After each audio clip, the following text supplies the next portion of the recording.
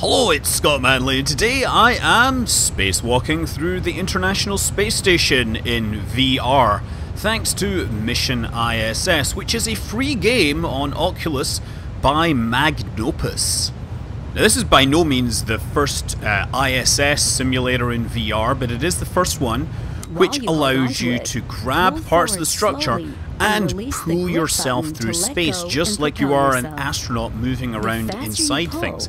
Now, I did actually play uh, another sim called Earthlight at GDC, but this one literally came out of nowhere. Uh, it's free on the Oculus Store, of course, if you have the right. Um, if you want to patch it using Revive, it will work just fine in the HTC Vive. But yeah, it's uh, really cool little uh, representation of the interior of the ISS, although I have to say it's you on the ISS on your own with no friends at all. Well, no friends other than the instructional voices telling you how to fly around inside it. There's a lot of cool things to see in various places, although it looks like we don't have the entire ISS. We're missing the Russian section at the very least. Yeah, look, here we are, moving through. And what section is this we're in?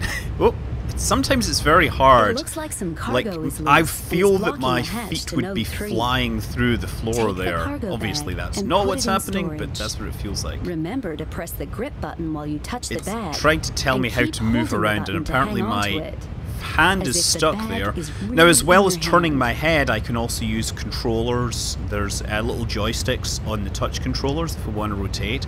And you can use, on the left hand, you have the ability to move, on the right hand, you have the ability Remember to turn. To press the grip and that's button while you important because, of course, it's a 3D environment, holding the button to hang and you might want to actually flip upside is down. There we really go. This is it. Oh, totally feels like we're moving through space here. Oh, and we've got the space laptop with the space Unix, and I've just gone and smashed the keyboard and probably caused the thing to, uh, you know, execute commands I had not intended. Oh, look, we get some storage here, and all these patches. These are all the mission patches there. Now, hold on, let me try and grab Great. that. Yes. You can use so we can grab some cargo that is floating around, and they're telling me station. To actually Go find ahead a and carry the bag forward into the module, where there's Okay. storage space this for thing, supplies. Uh, this feels a little light. Now secure the bag. you can leave it in the empty space with the rest It is a really bizarre feeling have a tendency to that when uh, you hold it's these important to make packages sure and they move around so lost. easily that it feels like they're they're inflatable. Right? It's like it doesn't feel like it weighs anything at all. It must be simply air. They're they're just shipping packages of Now air up to the, the space station. You can leave Here we go. empty space with the rest of the Come on, let's see if I can get Things this into that empty space there. on station. This frame it's here, that is the space sure toilet. Come on, got it. Now let me try and find something to grab. Maybe I should swap hands. Let's do that. it is kind of hard to do this, but there we go. We're coming over. Yeah. Oh no. Well done. No, we're floating away again. Congratulations. Come on. It looks I- like you're ready to begin the mission. Yes. Excellent. Now oh, get in there. Oh, I get in there. What is this? Is this explore the other cheese and that's like string and, you know wire cutters, cheese cutters, you see on cheese wire. That's what they're. right index finger to point Could you imagine stringing cheese wire around a space station like that? That would be If either a horrifically dangerous. Okay, so this is me using the space toilet, and if I turn around, I can see the hose. I can see, yep, International Space Station Orbital Outhouse Team. And if so, the way it's set up, kind of, oh, those are the fascinating space toilet controls. And there you go. You can point at things, hold the button, and you get to see some videos. That's a pretty famous video by Suni Williams explaining how the, the toilet works. It, this is on YouTube, you can go and check it out anytime uh, if you really are interested in that. Or you could, of course, watch my video on how uh, poop is handled in space. It's quite entertaining, but I'm not in zero G at the time, and my hairstyle is far more efficient than Suni's. Okay, where are we going to go next? Grab this. Just try to flick my way through. Oh, what's this? Oh, that's the treadmill, I think.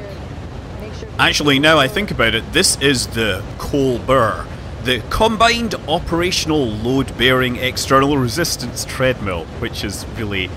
Uh, basically, when they were naming this module, they uh, put the thing out to the public vote, and in a Boaty McBoatface type incident, fans of the Colbert Report suggested it should be named after Stephen Colbert. They, of course, uh, got all the votes, but NASA wouldn't do it. Instead, they decided to name the treadmill after uh, this. So yeah, I guess that's Suni Williams running the marathon, running 26 miles in space. I believe Tim Peake also did the same thing as well. Now, as well as like free exploration, there is some guided missions and things like that where they encourage you to go and do things. I've been tasked with trying to find the glove box. The glove box is a uh, experiment. Well, it's basically it's a glove box, right? Yeah. So yeah, this is one of those machines where you stick your hands into the gloves and you can uh, handle stuff like super dangerous chemicals or toxins that would wipe out everyone in the space station. Very important if you're ever writing a sci-fi story about, you know, space disease on the space station being spread by spacemen and women. Here's Scott Kelly during Mission stuff. Node 3 for capsule docking. Capsules. Okay, so we gotta find this. Right. So if you're too lazy to do all the floating around, what you can do is you can bring up the control pad, right, which is a little map of the station, and then just point your finger at where you want to go. The name of node 3 is Tranquility. Yeah. Oh, we're back in Tranquility with all this stuff. Space toilet. And where is the cupola module? The cupola module is of course the one with a window where you get to to see outside. Oh, it must be around there. Oh, there it is. Okay. So the only thing is that it's at my feet, so I need to kind of flip the whole thing upside down, and this is where the controls on the hand controllers actually matter. Because, I mean, sure, you could try and do a headstand while wearing a VR headset, but it's probably better just to flick yourself upside down, and now I can look upwards, there we go, and just pull myself into the cupola module, where I can see the Earth below me. And also where I can get a nice view of the rest of the station to make sure that I can put stuff, uh, yeah, dock stuff and everything. That is the robot arm out there. And I'm gonna say, this looks like we're not moving particularly fast. I'm wondering if the developers have actually... I wonder if the developers have made the planet move. That would be a rather unfortunate oversight. Immersion breaking! I want my money back literally unplayable. I mean, I guess I should be able to hang out here for 45 minutes and watch the sunset, right? Yeah, I'm not going to do that. the docking procedure from your tablet by tapping on your selection with your finger. Hmm, so I need to actually request that the spacecraft comes to me. Need a spacecraft, a delivery on orbit? There's an app for that. Just need to push the button. Excellent! Now, let's try and dock this thing. Or let's try and berth this thing. Docking is where the spacecraft has a active thrusters and is able to, you know, dock manually or whatever on its own. For berthing, you have to use the Canadarm, and I've actually edited out a couple of failed attempts so far. The Dragon capsule is just kind of sitting there, and I need to try and hook this thing into its little uh, connector. Yeah, the, the grabbing end of the arm is actually really simple. It's like three wires which can be twisted around by a rotary mechanism, and that is very good at grabbing the, uh, you know, grabbing things by the ports or whatever. There's special extrusions that are designed to be grabbed by the arm. It's very nice. It self-regulates. You just don't want to stick your finger in it. that could be bad. Again, another cheese wire problem. So the nice thing is that the controls are actually... So you don't control the joints directly. What you're doing is you're controlling relative to the camera on the end of the arm, right? So there's a camera that I'm looking out of here. So on the left, you can basically translate it left and right, up or down, and you can also pull it in and out to translate it forwards and backwards. On the right, I have a joystick, and again, you grab it, and you can either twist it, you know, yaw it, roll it, all that stuff. So they're two six-axis joysticks, one for translation and one for uh, rotation. And I am trying to find where the connector is. There's a green arrow floating in space. Once again, immersion breaking in the extreme. But never mind that, I'm still getting distracted by the fact that the Earth does not appear to be moving by at orbital speeds. There we go. So that's what we've got to stick the uh, robot arm into. And I guess we need to grab it at 90 degree angle, right? So I need to adjust the robot arm to go through that uh, connector exactly. This is uh, harder than it seems. I am sure it would be a whole lot easier if I were not doing this in VR and I could actually read what I'm seeing here. Come on. That's right, so I'm rotating it to try and get it perpendicular to the connector. Now let's translate it over it. That's looking pretty good. And now so I push forwards and it should start moving in. Let's just try and get that. There we go. Ready to grab a dragon by its tail. I'm, that's what I'm doing. Just let's get it straight, exactly straight. Slide in here. Yes! Right. Capsule lock is confirmed. I Next got a capsule by the tail. the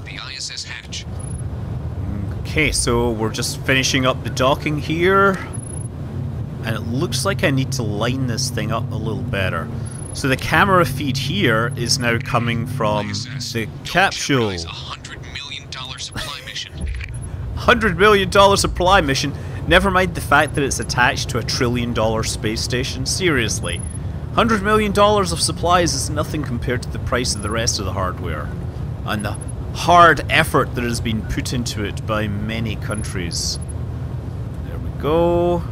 And we're just going to slide that forwards. I think that's pretty good. Oh yeah, there's... Uh, you know what, I think I should have rotated my uh, capsule through 180 degrees, but it's too late now. Just gonna finish the docking. I should have done that when the space station was not nearby. Gently does it. Excellent! The prettiest dock we've ever seen. Oh, whatever. Why let us the next one? Yeah, why don't you try it in VR? It's way put in for harder, trust me. time at Johnson's VR lab. Use your tablet to initiate the EVA procedure. Okay, time to go for a walk, as soon as I can make this tablet appear. Yes, there's an app for that. That's me getting dressed sounds. It takes way longer than that to get dressed in a spacesuit. Immersion broken! Need you to make your way to the capsule and check for signs of micrometeorite penetration. Okay, um, Grab on to the exterior handbars and follow the path to get to the capsule. wait, I don't have a tether to work with? Continue to the capsule. Okay, so apparently I'm just going hand over hand without using any tethers. That is not... Yeah, so that's one of those grab grasping points there, you see that? Be careful. I am being careful. I am feeling terribly afflicted by vertigo looking down at the Earth. Actually, that's just kidding. This is looking pretty awesome. Just need to stop and look around once I've finished with my job. So drag, colliding, whatever. Grabbing, hand over hand, over this. Gonna sneak through here. I think I can get... I probably could not get through here if it wasn't VR. It just doesn't do full-on body tracking. But I am like a ghost. A space ghost! Yes, I am passing through solid objects because I am merely a pair of hands and a head floating in space. Okay, I'm not sure I see many panels here. Let's just try grabbing random things. Well, yes. If it's good enough for the Canadarm, it's good enough for me. If anything goes wrong with your tether, you'll float away. Always keep at least one hand on the station. What tether? I don't see a tether. This is highly irregular. You're telling me there's a tether there, but I can I don't see it. What is this? Invisible tether mission? That's what we're testing, invisibility stuff. Okay. So we're now coming out to the end here. Where is... Ah, there it is. There... Oh, wait. Yeah, is that the dragon capsule? Is that what that's supposed to be? Come on. Get down here. Alright. You'll need to make a pass all the way around the capsule. We'll confirm spacecraft integrity with your EMU camera. Okay. You know, I gotta say, now that I am up close next to this dragon capsule, that looks way too small. Like, my arms are able to stretch across this, and that feels totally wrong. Come in, ISS. Something was wrong with our readings. Capsule pressurization has been confirmed. Oh my god, you did not check that before sending someone out on an. EVA without a tether? Return to airlock immediately. Yeah. So yeah, I mean, I've tried another version. I tried something called Earthlight, which was still in the demo phase at, at GDC. It did the hands differently. Actually, it has the arms and hands represented. This is well, this is more complete than what Earthlight was, but then again, Earthlight looked a lot prettier when I saw it. But yeah, we're just moving over this. So yeah, if you've got an Oculus Rift, this is free. I mean, seriously, this is awesome. It's great that you've got this. If you've got a Vive, well, there's ways of making it work. I'm just going to use my safer pack to get off here, or try to you know, zip around the outside of the spaceship. Safer packs are like smaller versions of the manned maneuvering unit used on this early space shuttle missions.